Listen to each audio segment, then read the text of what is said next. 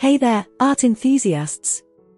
Prepare to dive into the world of Pierre-Auguste Renoir, one of the most celebrated artists of the late 19th and early 20th centuries.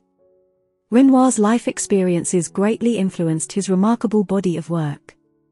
Born in 1841 in Limoges, France, Renoir grew up with a passion for art. He began his journey as an apprentice in a porcelain factory, where his keen eye for detail and delicate touch blossomed.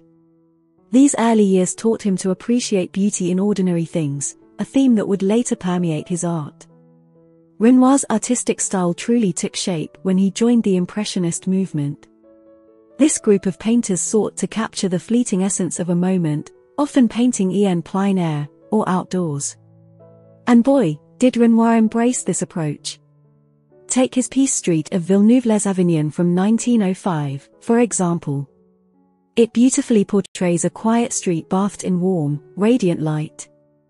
Renoir's experiences with the Impressionists taught him to blend colors in a way that mimicked the changing light conditions, breathing life into his canvases.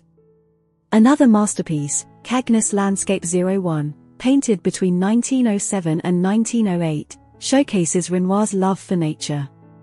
This vibrant piece invites us to stroll through a lush countryside, bringing a sense of calm and tranquility to the viewer. It's as if Renoir wanted to transport us to those tranquil moments he cherished while exploring the beauty of the outdoors. Now, let's talk about Large Nude from 1907. This painting demonstrates Renoir's fascination with the female form. With his soft brushstrokes and warm hues, he presents a sensuous yet tender portrayal of the female figure, celebrating the beauty of the human body. Renoir's portraits, such as Portrait of Claude and Woman in White Blouse from 1908, showcase his ability to capture the complexity of his subjects. With his skilled brushwork, he infuses personality and emotion into every stroke, transforming the canvas into a reflection of the subject's inner world. But Renoir wasn't just about landscapes and portraits. Girl Tatting, painted in 1906, reveals his ability to depict the intimacy of everyday moments. Here, Renoir visually invites us into a quiet scene of a young girl engrossed in her craft.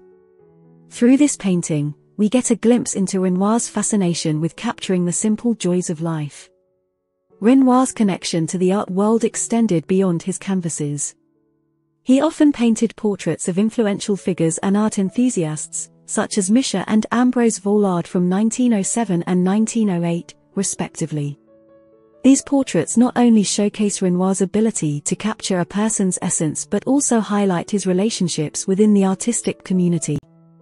Finally, we have Pierre Renoir reading from 1908, a self-portrait of the artist himself.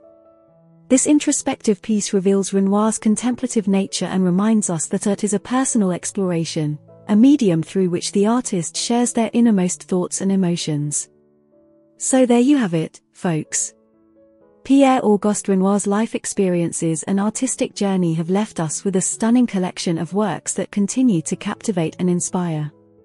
From his impressionist landscapes to his portraits bursting with life, Renoir's art invites us to find beauty in even the simplest of moments.